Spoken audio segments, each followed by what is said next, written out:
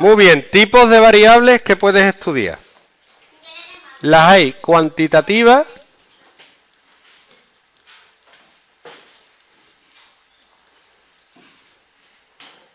que se pueden contar y cualitativas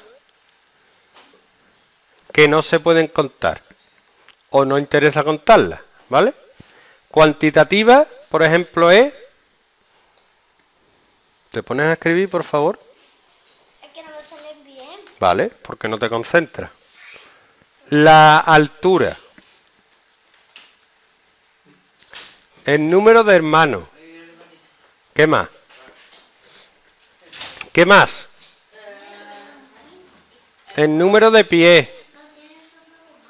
El número de móviles que hay en una casa. Cualitativa. El color de ojos. Nilo. La música favorita. ¿Cuál más es cualitativa?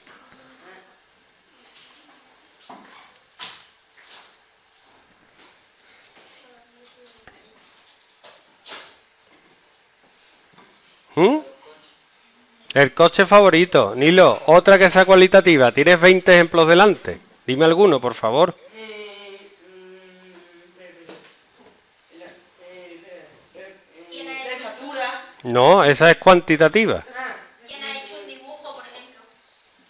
mm, el, el deporte favorito. Etcétera. Dentro de las cuantitativas hay de dos tipos. Discretas, que solo pueden tomar un valor. Por ejemplo, el número de hermanos puede ser 0, 1, 2, 3, pero no puede ser 1,5.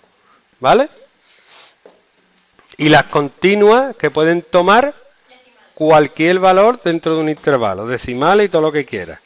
Por ejemplo, la altura es continua, pero nosotros la convertimos en discreta. Por interesa, ¿yo cuánto mido?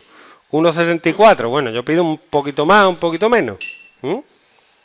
Pero despreciamos los decimales.